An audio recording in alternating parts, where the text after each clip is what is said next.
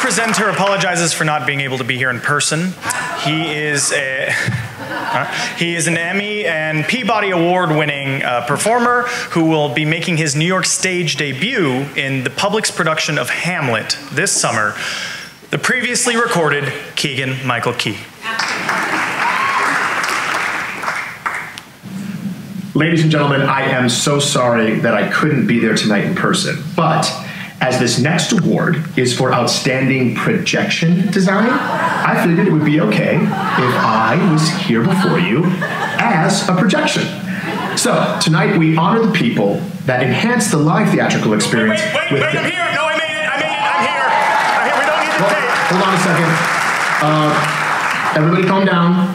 Can somebody please tell me what's going on here? Yeah, I'm here live. I got it. I'm good. I What? got it. You're there? How are you there? That's- but I made this video and the projection and everything. Okay, well, do you want to do the nominees?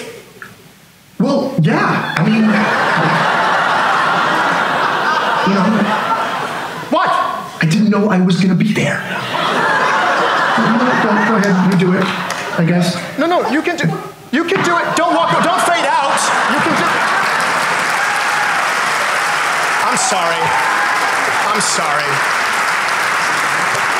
I can just be so moody sometimes. Uh, the nominees for outstanding projection design are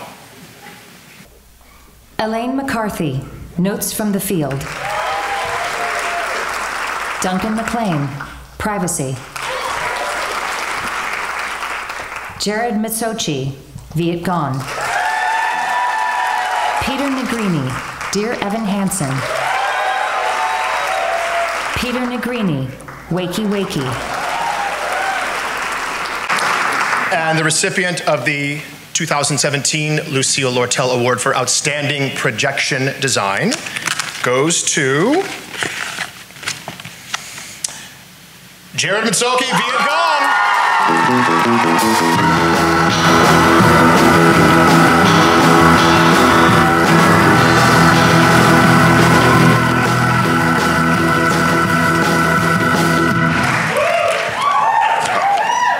Gosh. I said, gosh, mom, not God.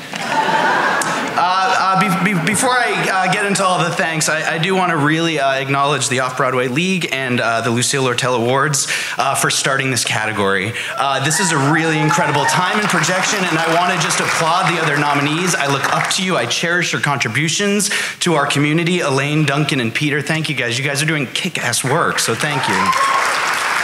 Um, I want to thank MTC uh, and South Coast Rep and all, all of uh, the people within uh, who took this script uh, and read it and said how, and then said, absolutely, we have to do it.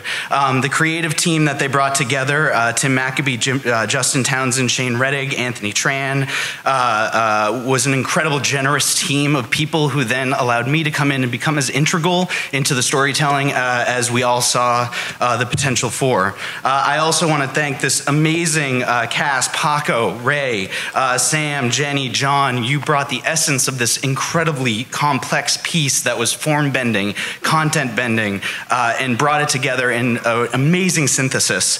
Uh, I want to thank our uh, fearless leader, May Adrales. You are awesome.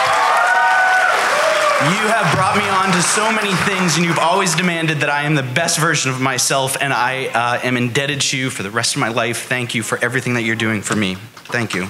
Uh, to Qui, uh, oh my God, this guy is just like fearless, and he's making the, the most impossible theater happen and bringing us all together. And uh, uh, I, I just want to thank one, one last person, my beautiful date, uh, my mom. Uh, she, uh, uh, you know, this, this play brought about uh, a lot of con- conversations about adversity, about the other, uh, about uh, uh, uh, finding ways to make more accessible and empathetic the other uh, and bring them to the foreground of our community. And uh, uh, I, I had to dig deep and I, I used a lot of what little adversity I've had in my life, which was about the loss of my dad. Uh, and my mom uh, sat there across from him and told me that, look, uh, suffering is inevitable, uh, but it's we suffer creatively that makes it so damn important. So keep doing what you do. So thank you, mom, and let's keep suffering creatively and fight back. Thank you, guys.